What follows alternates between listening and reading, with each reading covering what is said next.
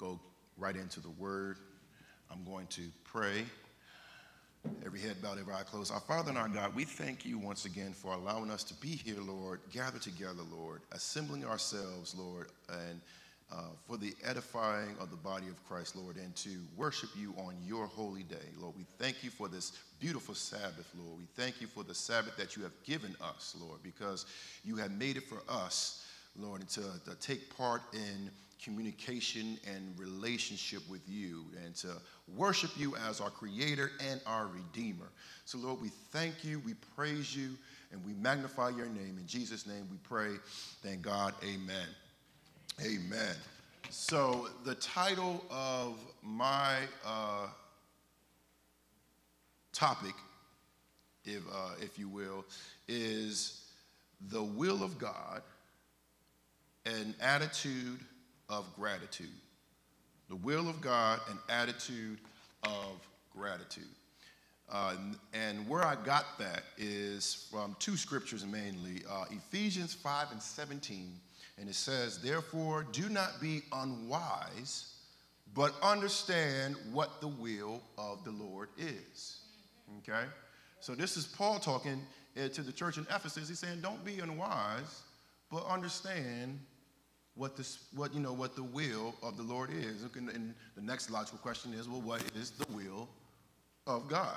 Well, go to 1 Thessalonians 5 and 18. It says, In everything give thanks, for this is the will of God in Christ Jesus for you. Okay? And so let's just break down, okay, so will, you know, what does will mean? Okay, well, will in the Greek actually means thelema, okay? And thelema meaning it is a determination, properly the thing that is actively the choice, specifically purpose or decree, abstractly volition or passively the inclination, desire, pleasure, or will, okay? And to even break that down even further, thelema comes from the, the root word thelo or ethelo, okay? And what that means is other, uh, the, to determine as an active voice or opinion from a subjective impulse, okay? Properly denotes rather a passive voice or acquiescence in objective considerations, that is, choose or to prefer literally or figuratively, by implication, to wish. So God's wish, because remember, God doesn't force anybody, right?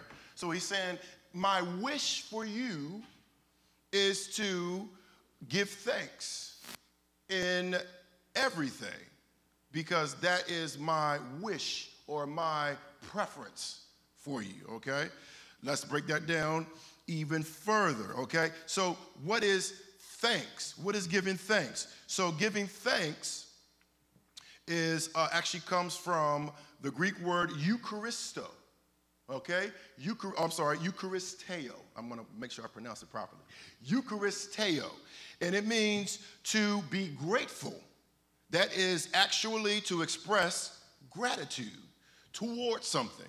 So, specifically, to say grace at a meal or to give or to be thankful or to give thanks, Sister Teresa. So when you break that down even further, because you know I'm a chemist, I like to break things down to its, you know, its elemental form, right? That comes from Eucharistos, which is well favored. That is, by implication, to be grateful or thankful, okay? And then that is further broken down into two words. And the first one is you, meaning it's a good or adverbially well or good. And then the other word is uh, charizomai, meaning to grant as a favor, that is gratuitously in kindness, pardon, or rescue, to deliver, frankly, to forgive, to freely forgive, or to grant or to give. Okay? And then again, see, I, I like to break stuff down even further. So you so uh, charizomai is broken down into charis, Charis means to be gracious or graciousness or as gratifying, a manner or act, abstract or concrete, or literal or figurative, or even spiritual, especially the divine influence upon the heart. and its reflection in the life, including gratitude, acceptable benefit, favor, gift, or grace, joy, liberality, pleasure, or thankfulness. Okay? And then breaks it down even further, goes to another word called chario. Chario, now remember that one. Chario means to be full of cheer. So, what he's saying, give thanks, you need to be full of cheer. Okay? That is calmly happy or well off, impersonal, especially as a salutation meeting on meeting or parting. So, you know, when you meet somebody, you should be cheerful. When you say goodbye to them, you should be cheerful. Okay? Farewell, be glad, Godspeed, or hail, joyful, or to rejoice. Now, during those times, uh, you know, it, it, was, it was easy, and even to these, you know, to now, to, to present day, it's easy to be grateful and to be joyful when things are going your way. You know, I mean, once you get your paycheck, I know I got my paycheck yesterday. You know, I mean, you, I mean, uh, pray Friday. You know, oh, happy Friday because it's a pay Friday. You know what I mean? You know, but what about the off days? You know, or what about when that one coworker is getting on your nerves? You need to be grateful. Be grateful, yes, and I'll show you. You know why you should be grateful. Okay.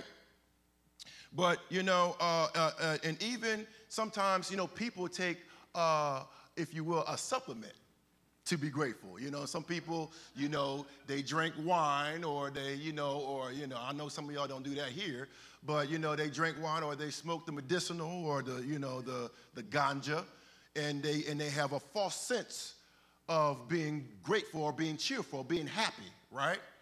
But see, what the Bible says in Ephesians 5 and 18, it says, and do not be drunk with wine, which is dissipation, but be filled with the Spirit. So, in other words, we are to be filled with the Holy Spirit instead of unholy spirits. You know how when you go to the, to, to the liquor store and they say, oh, you know, liquor, spirits, and wine? Yes, you know, because they believe back in the day, if you drunk that stuff, you were possessed by spirits. So, what Paul is saying here is to be not to, to, to, to not be drunk with wine and, and, and, you know, smoking that stuff, but to be filled with the Spirit. We are supposed to be filled with the Spirit, and when we are filled with the Holy Spirit, it is only with the Holy Spirit that we are sincere with our worship and our praise. Jesus shows us this in the parable in Luke. When you go to Luke 18 and 9, he says, and also he spoke this parable to some who trusted in themselves that they were righteous and despised others. Two men went up to the temple to pray. One was a Pharisee, and the other a tax collector. And the Pharisee stood and prayed thus with himself God, I thank you that I am not like other men, extortioners, unjust, adulterers, or even as this tax collector here. I fast twice a week. I give tithes of all that I possess. Doesn't that sound pompous? Doesn't that sound arrogant? I, you know, I, you know, I give all of my offering. I give to the pathfinders and to the adventurers. And when the children have the buckets out every Sabbath, I give. I'm the one that gives the $50 bill in there, you know. You know, but then the tax collector, you know, and you know, back in those days, tax collectors, another word for tax collector was like a corporate thief. You know, a one that actually would get away with, you know, stealing from the people. You know, tax collectors weren't highly looked upon, you know, especially around tax season. You know, I know around tax season, the, the IRS, people don't like the IRS doing around tax season, you know, because most of the time they got to pay back something that they kept all year, right? But the tax collector had a totally different approach when he went to the Lord. You know, he standing afar off, so he didn't even come into the sanctuary, if you will. Okay, imagine a tax collector standing way back where um, Brother Edwards is standing, uh, back there in the vestibule. He's, uh, he's back there in the vestibule. Didn't even feel worthy coming into the sanctuary. And then he said, wouldn't, wouldn't, even, wouldn't even raise his eyes, you know, to heaven, but beat his chest, saying, God, be merciful to me, a sinner. He recognized that in my flesh dwelleth no good thing. Juxtaposed to the church member, you know, that was, ooh, I thank thee. He said that false sense of gratitude. And he wasn't thankful to God, he was thankful for himself. He was thankful that, oh, oh, oh you know, I, you know, I give money, you know, and at the end of time, you know, there are going to be a group of people that, Lord, haven't we cast demons out of your name? Haven't we, you know, uh, uh, uh, uh, uh fed the hungry and, and, and clothed the disenfranchised? And Jesus is going to tell them, Depart from me. I never knew you. You know? So, so, so he says here, God, be merciful to me, a sinner. Then Jesus tells them, He says, I tell you, this man went down to his house justified rather than the other. For everyone who exalts himself will be humbled, and he who humbles himself will be exalted. No wonder Jesus taught his disciples on the Sermon of the Mount, blessed, which is Cairo, blessed or happy or cheerful or grateful are the poor in spirit, for theirs is the kingdom of heaven. Blessed are those who mourn, for they shall be comforted. Blessed are the meek, for they shall inherit the earth. Blessed are those who hunger and thirst, here's the key, after righteousness, for they shall be filled. Blessed are the merciful, for they shall obtain mercy. Blessed are the pure in heart. And the only way you can be pure in heart is if you ask the Lord to take out that stony heart, that heart that cannot beat, and give me the heart of flesh so that I can feel something, so I can feel the gratitude, so that way I can come into the knowledge that I was once dead and now I am alive.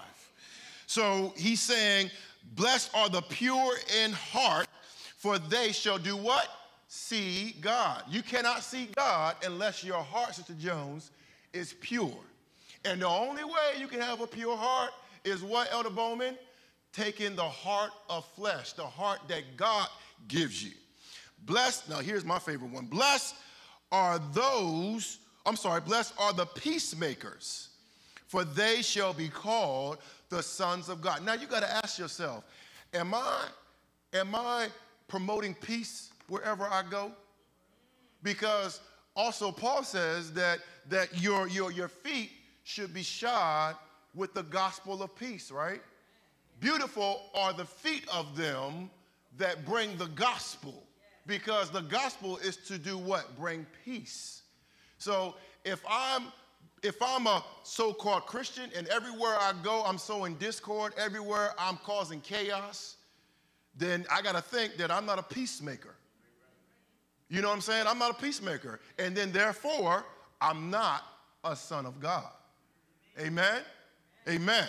So he says here, Blessed are you when they revile you, when they persecute you, and say all kinds of evil against you falsely for my sake. And here he says, Rejoice and be exceedingly glad for great is your reward in heaven, for so they persecuted the prophets who were before you. So you see here, the Pharisee is the church member, while the tax collector, viewed by society, is superficially viewed as a thief. Yet Jesus said that the tax collector, when to the Lord in the right spirit. He went to the Lord in the right spirit. So, going back to Ephesians 5 and now verse 19, Paul saying, speaking to one another in psalms, in hymns, and spiritual songs, singing and making melody in your heart to the Lord, giving thanks always for all things to God the Father in the name of the Lord Jesus Christ. Now, what does he mean when he says giving thanks always for all things? Well, Sister Chelsea, when she was giving the, the, uh, the lesson to the lambs, she said that what do we need to be thankful for? Not just for the good stuff, but also for the not so good stuff, right?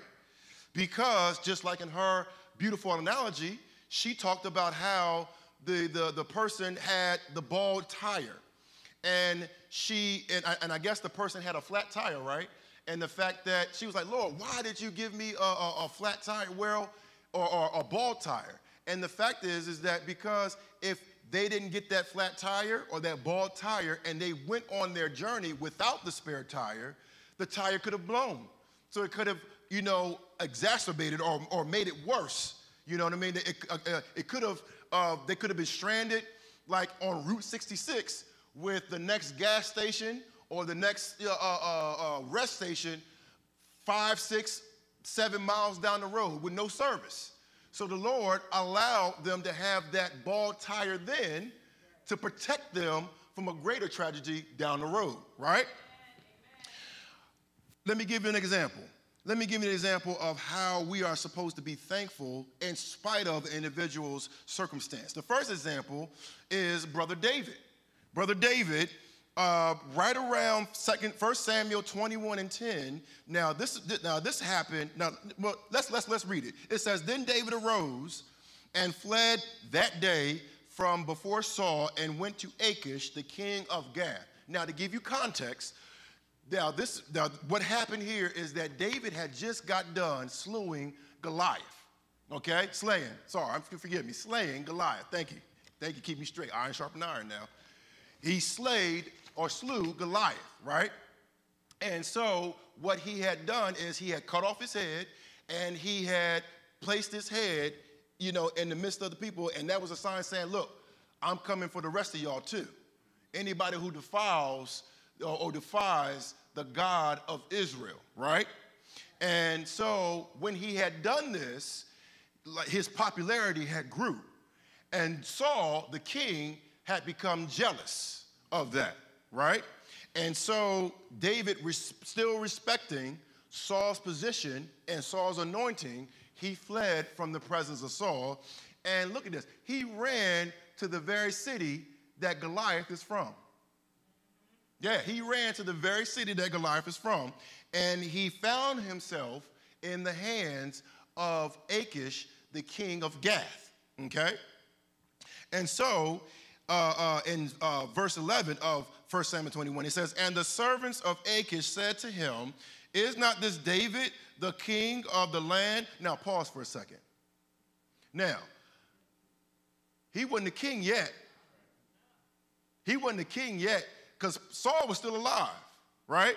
But they recognized his authority. They recognized that the Lord was with him. How do we know that? Did they not sing to him to one another in dances, saying, Saul has slain his thousands and David his ten thousands. Now pause again. Where else did we hear that before from? One can chase a thousand, and two could put ten thousand to flight. So why is it that Saul chased uh, killed one thousand and David killed two thousand? Because the Lord was with him, and the Lord wasn't with Saul. Remember, he moved his anointing from Saul to David. So, so right there. Okay, back to the story. So now in verse 12, it says, Now David took these words to heart. Now, so even though David fled to this, to this uh, uh, foreign uh, Philistine city after he defeated one of the greatest Philistine champions or Philistine champions, Goliath, Brother Marvin, you see here that his popularity had even grew to the neighboring nations. Okay? So when you are standing for the Lord and for his righteousness, the influence is going to travel, okay? And he got afraid of that. David got afraid of that. So what did David do?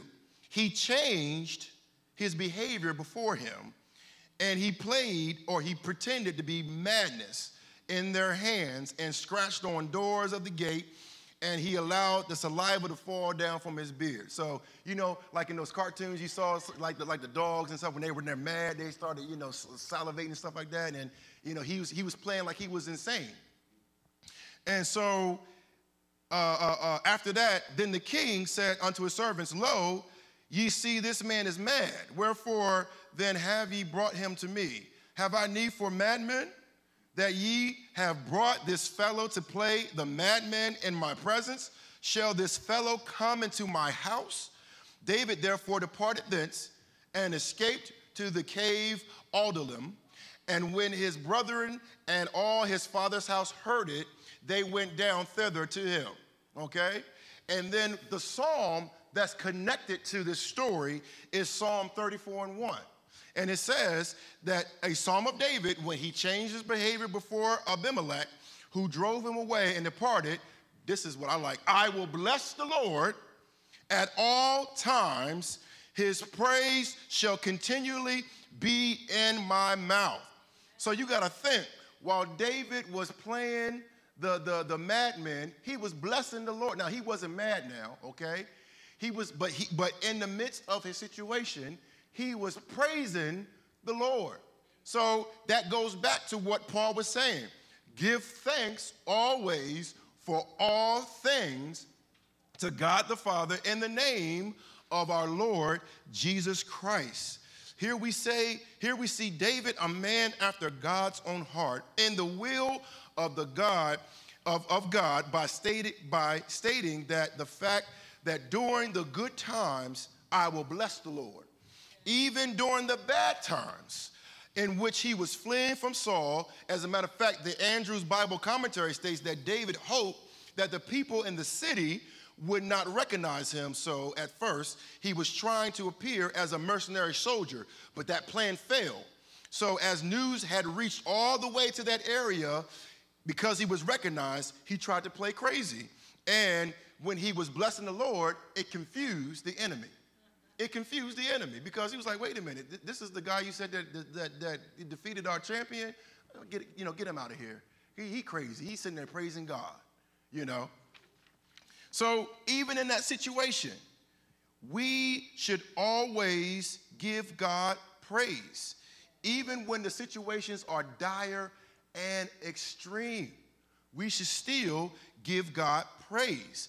During times of persecution, we should we shall bless the Lord. And you know what? Out of the mouths of two or three witnesses, right? Let, uh, let, let his word be established, right? I got another witness. Let's go to Job. Remember in, in Job chapter 1 when the, when the servants came and told Job, hey, Job, all your cattle, all your oxen, as a matter of fact, your children are, are dead. And I was the only one that, that, that, that, escaped to tell you this tale. What did Job do? What did Job do? Job 1 and 20 says, Then Job arose, tore his robe, shaved his head, bald like me, shaved his head, and he fell to the ground and he worshiped. And said, Naked I came from my mother's womb, and naked shall I return there. The Lord gave, and the Lord has taken away. Blessed be the name of the Lord.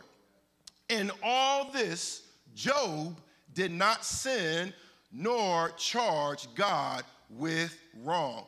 And by the way, you know what Job means? Job in the Hebrew, so we as English speakers, well, mainly English speakers, we, it's, it's a transliteration, Job, but actually in Hebrew it means Job. And it actually means hated or persecuted. Okay? So you see here in all the book of Job that the enemy was persecuting him because he was a perfect and upright man, right? And then remember, in the beginning of the book, Satan accused Job of only worshiping God or having an attitude of gratitude about God because he was blessed of God. He had all this stuff, you know?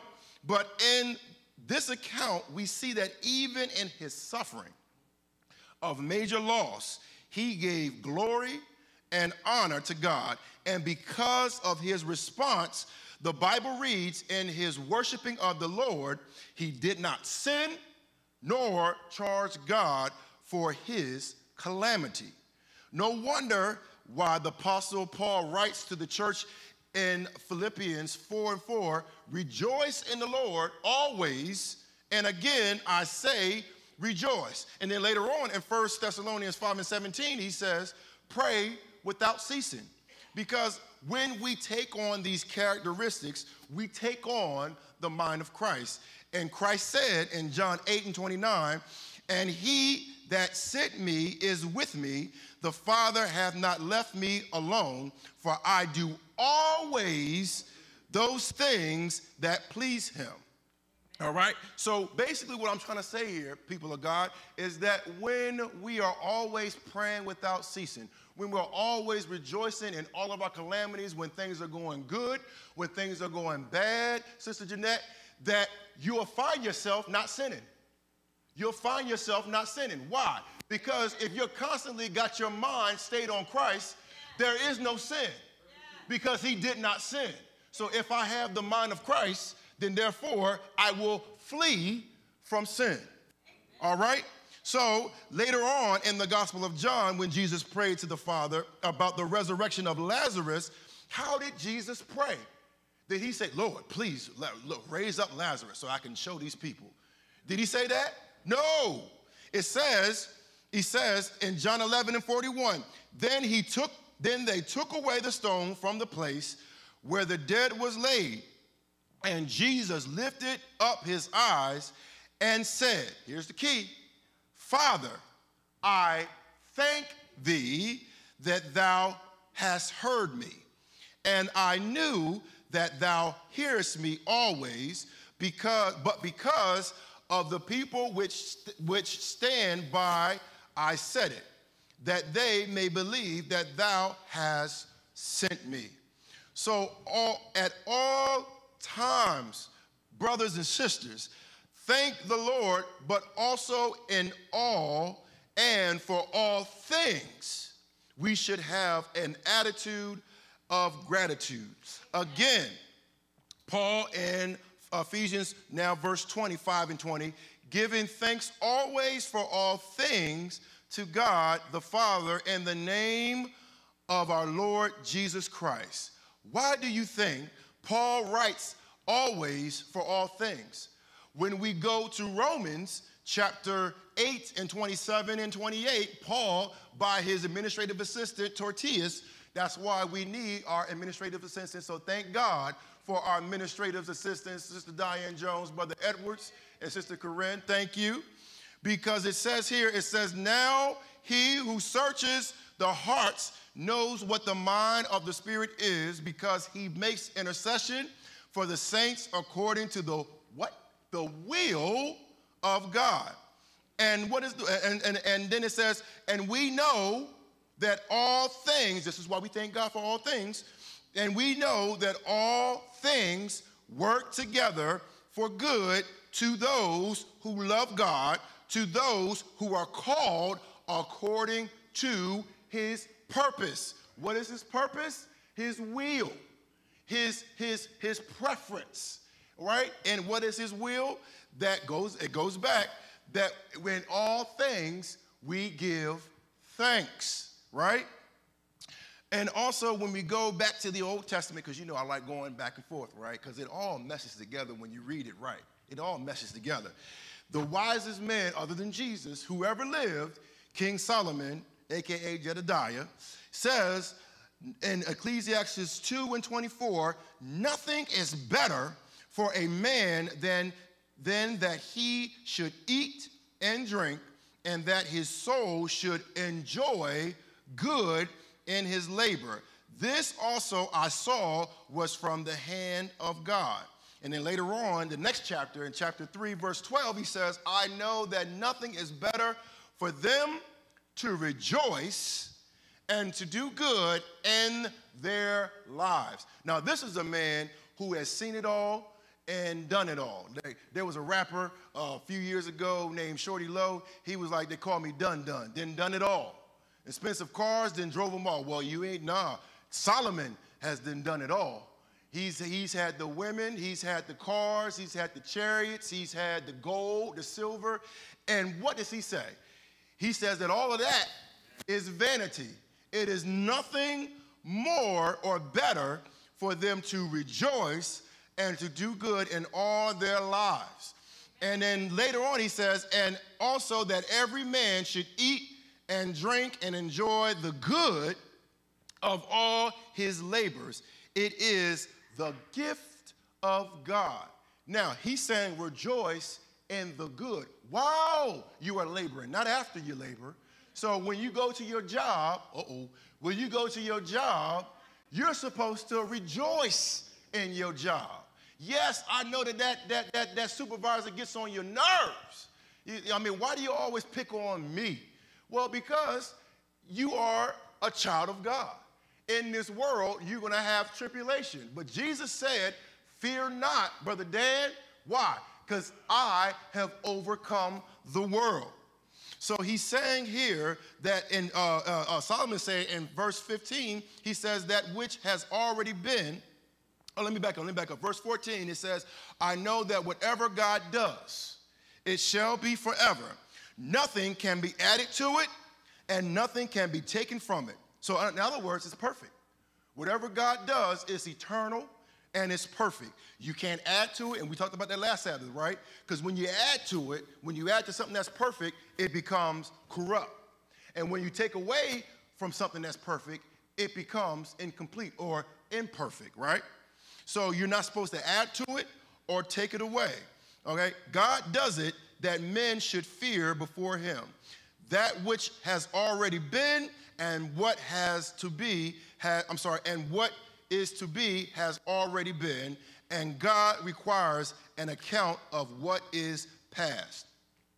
So later in the New Testament, Jesus teaches his disciples based on uh, uh, what, you know, what we just read and what we just learned that you know it is better for us to what to eat and drink and to rejoice in our labors. Don't don't don't don't find yourself just collecting a whole bunch of stuff, but just rejoice in, in what you're doing. Be in the present.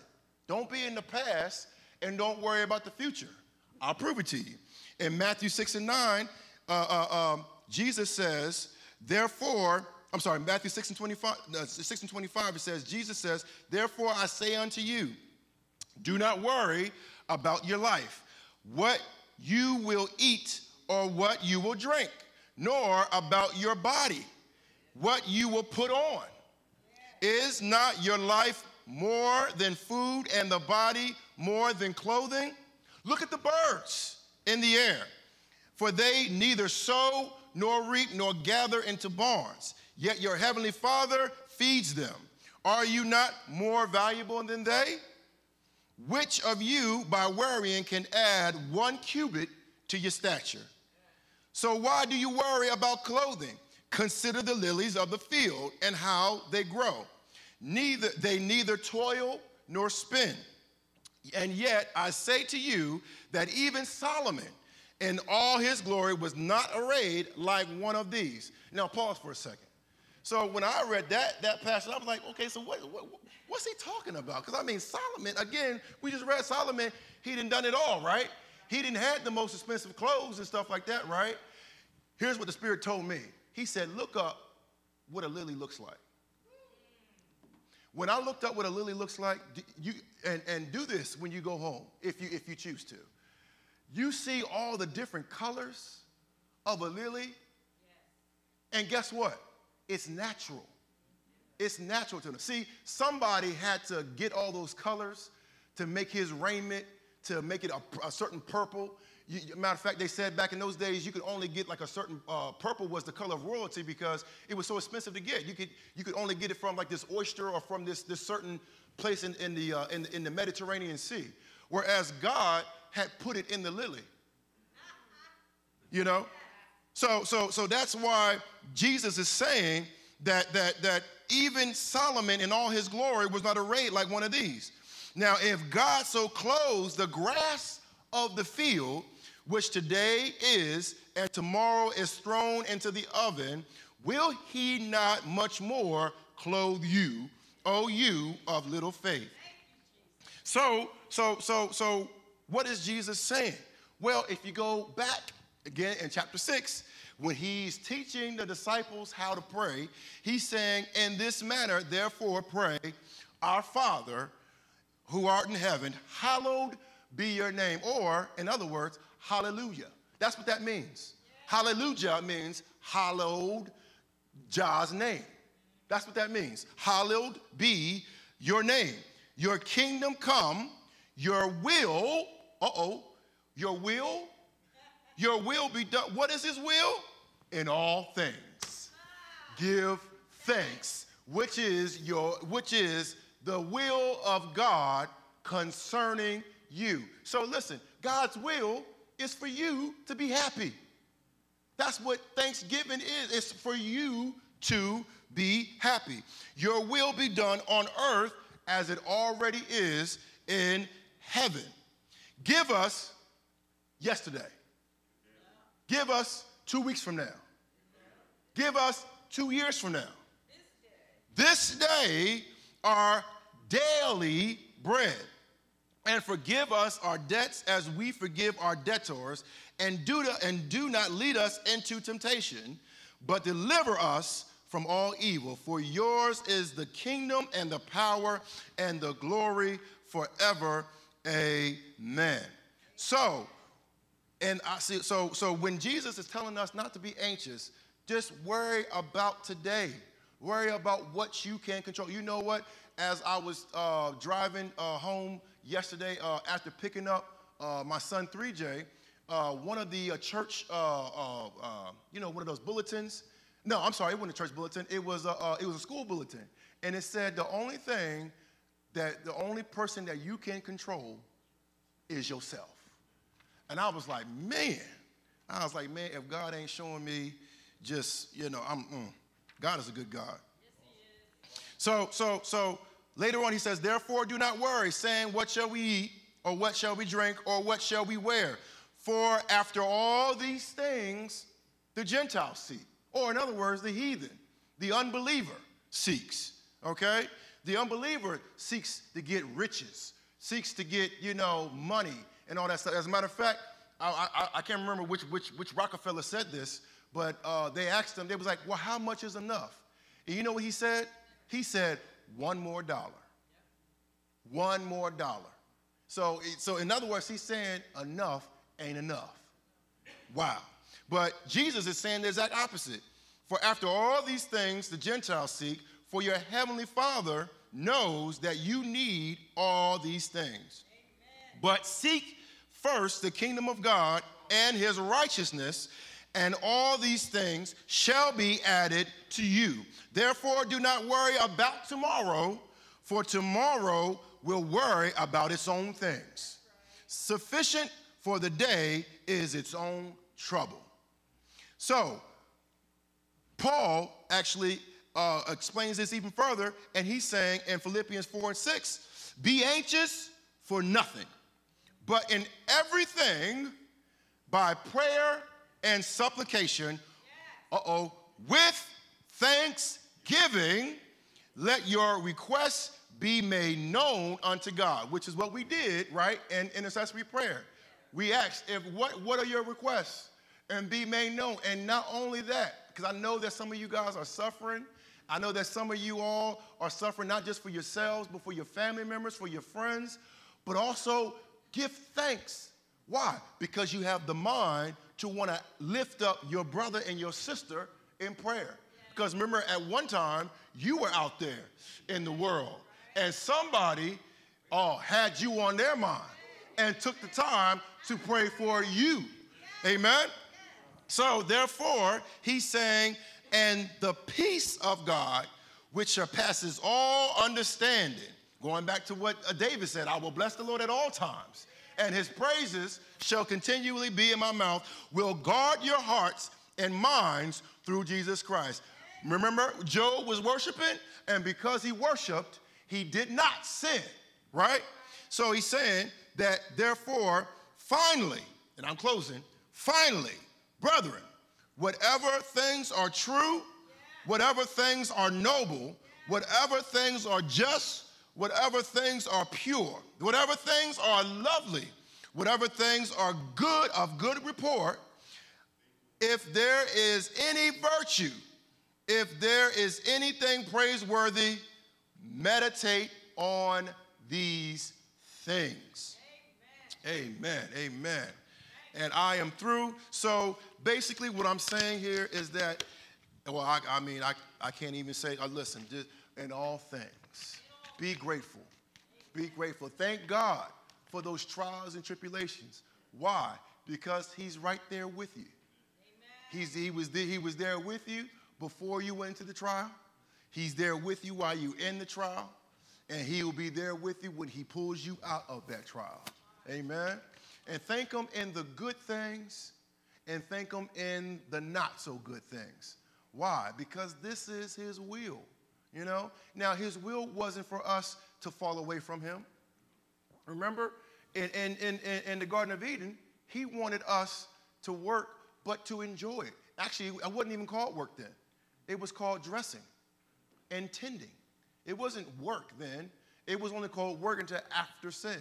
But even in the midst of that, that, that, that, that, that, that command that the Lord gave Adam and Eve that, that thou shalt work by the sweat of your brow, that still, still give thanks because he cursed the ground for their sakes. Yes, he cursed the ground for their sakes. Why? So that way they would always remember that we need Christ and not the other way around, you know? And so let's not be like that Pharisee that Jesus talked about in having that insincere gratitude. I thank God that, uh, that you know, I got, you know, I got all my affairs in order and all my bills are paid. Well, thank God for that, you know, but thank God for the means that you got and who gave you those means, right? You're right. Just like, uh, just like, uh, like Jonah. Remember Jonah after he had preached in Nineveh? And, and, and, and, and, the, and the Lord gave him an object lesson, right? When he made that, that, that shade for him. And he was praising God for the shade. No, he was praising for the shade. He wasn't praising God. He was praising, he was, oh, yes, I got shade. Because he was trying to watch the city, Nineveh, be destroyed. And the Lord still, even though the Lord knew his heart, he provided shade for him. And then the very next day, the worms came and ate it up. And then God asked him, You have a right to be angry? Because you didn't make that, that, that branch, nor did, nor did the branch, did, nor did you have anything to do with the branch going away. But you have more sympathy for that branch than the people. And then, and then in the Sabbath school lesson a couple Sabbaths ago, it said that you were even grateful for the thing, but not the person that gave you the thing. So, what does that say about us? We need to be grateful not for the stuff, but for the person who had us on his mind. Oh, come on now. Brother Wobash, he had you on his mind. An infinite God who created the heavens and the earth, meaning he's bigger than the heavens and the earth. And on this day, Brother, uh, uh, Brother Mervyn, he had you on his mind. Now, that's mind boggling in itself. So, as we're all standing, as we're all standing, let us remember to give thanks with a grateful heart.